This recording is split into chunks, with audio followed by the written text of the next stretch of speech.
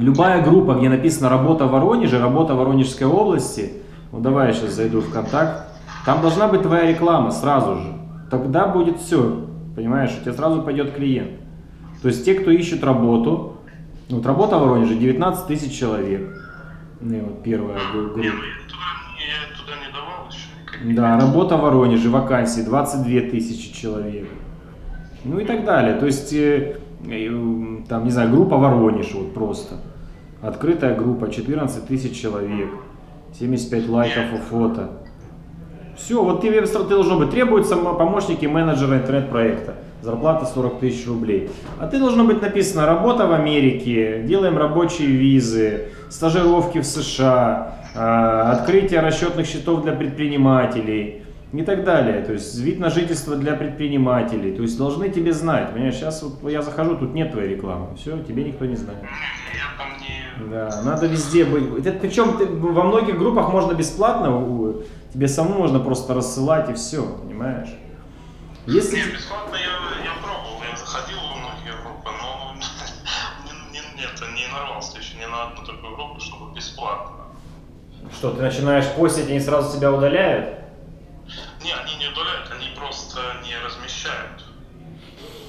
Ну какие-то есть группы бесплатные, точно, так не бывает. Какие-то есть, значит плохо, плохо искал. Ну, посмотри Одноклассники, посмотри Facebook. В Фейсбуке более активная публика. В Инстаграме, там, не знаю, воронежские инстаграмы, есть какие-то раскрученные аккаунты. Там в, в постах писать нужно везде.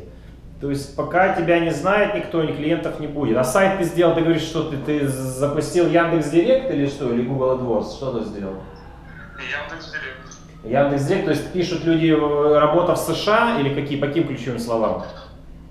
А, там э, виза в США, работа в США, в Америке, ну, по таким вот. Работа в Америке, работа в США. То есть те, кто в Воронеже. А ты сколько человек ты изучал, сколько человек вообще а, заходят в Воронежской области а, вот с этими запросами в Яндекс Директ? М, Блин, ну, сейчас я... Лично я не смотрел. Так вот это самая основа основ. Может быть там 5 человек всего заходит, так это и не будет а, звонков никаких. Ну вот это важный момент. Уточни этот вопрос, уточни этот вопрос обязательно. Потому что, может быть, это не будет работать. Может быть, нужно именно тогда искать ту целевую аудиторию, которая вообще об Америке никогда не задумывались. Ведь у нас полно клиентов, которые случайно когда-то, сидя дома на кухне, наткнулись на наше видео, и их жизнь изменилась. Потом они изучили, посмотрели, сделали визу, приехали в Америку, подали там на политику, допустим, и, и остались здесь в Америке. У нас полно таких историй. Полно. Поэтому, э, да, люди, людям надо просто показывать, рассказывать. Люди не знают, люди не видят, люди не понимают, что есть другая жизнь. Они живут в своей оболочке, и все. А надо эту оболочку им разорвать, и чтобы они вздохнули свежим воздухом. Вот, вот так вот. Ну, я сейчас сделал рекламу сайта ВКонтакте, сделал, вот, вчера только запустил. Ну вот я считаю, что... А ну скинь мне сайт, я хоть сайт твой посмотрю.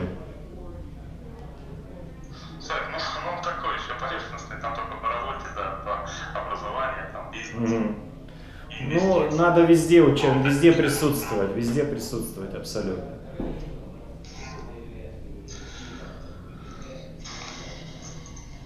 Давай. А по, это, по, по рабочим визам, вот э, какие еще вы говоришь, э, есть, что и, э, может быть, еще какую-то, да, пройти. Ну, J1, J1 одна из таких популярных. J1. Ну, да, J1 это стажировочная виза. Сейчас, одну секунду, я отвечу просто это... Секунду. Можно секунду сейчас.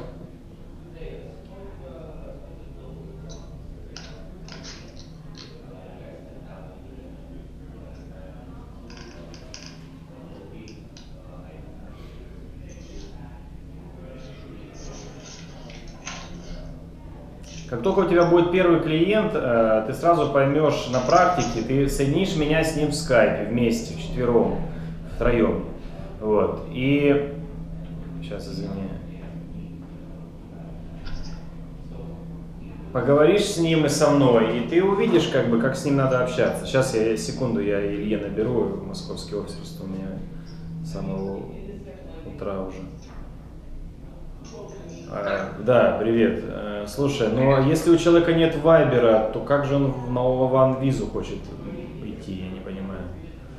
Да я не знаю, она просто вот, э, она вот была у нас в офисе, мы с ней общались. Ну, я думаю, это не, это не клиент. Если человек не хочет устанавливать Viber, но хочет в Америку, то это уже не клиент. Я сегодня вот ругался с, с Ровно, с, с офисом нашим, тоже сказал мне, что, ну как, не ругался, объяснял ему, но меня просто это немножко взбесило. Он мне говорит, вот, до вас не могут дозвониться. Я всех просматриваю, у нас у всех было назначено время, никто из них не перезвонил.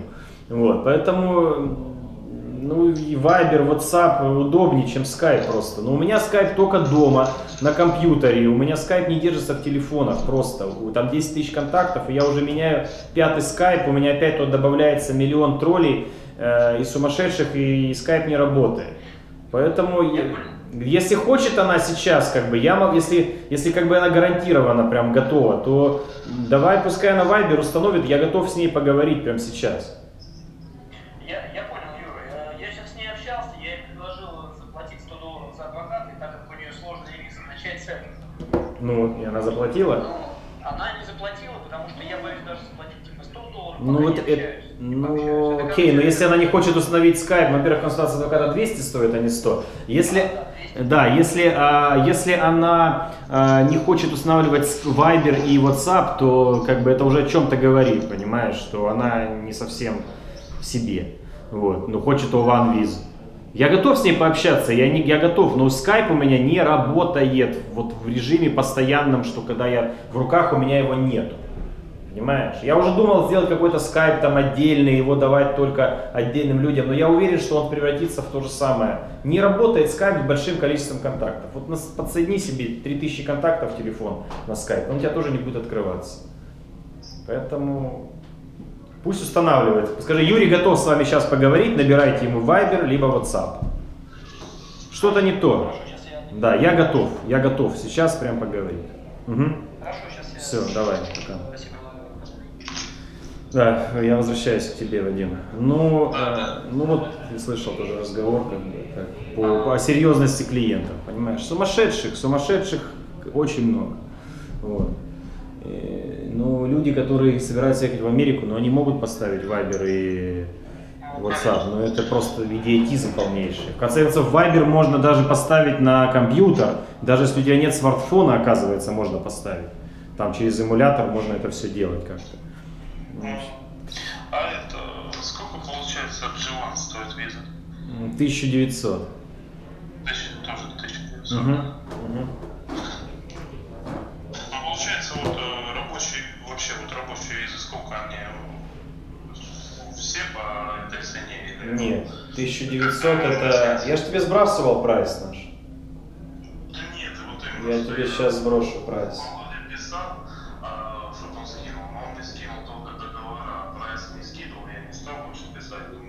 Надо было набрать его, надо было набрать. Сейчас я тебе сброшу прайс вообще. Ну, Ну, прайс это не, не для размещения на сайт, потому что у нас мы прайс на сайт не ставим свой. Не, я понял, ну просто так для себя. Да, для себя, как бы, потому что бывает мы скидки делаем клиентам, бывает сложный кейс, наоборот надо наценку делать, поэтому, а то они потом упираются, вот у вас написано политубежище 5000, а там кейс сло- наисложнейший, там переводов только на 2000 долларов, понимаешь? И есть очень сложные кейсы, предпринимательские кейсы, когда там э, много всяких, например, уголовное дело надо переводить, еще что-то, и сложные заключения нужны. Вот я тебе прайс сейчас сброшу. Э, И поэтому говоришь потом, слушай, 5000 это для простого, а он говорит, а вот у вас на сайте, и все, и начинается. Я тебе сбросил про прайс сбросил. Пришло? Смотри, в переписке вайберовской. Поэтому это ориентировочная цена, плюс, плюс, плюс-минус. Ну прошло или не прошло? Посмотри в переписку, зайди в переписку сейчас.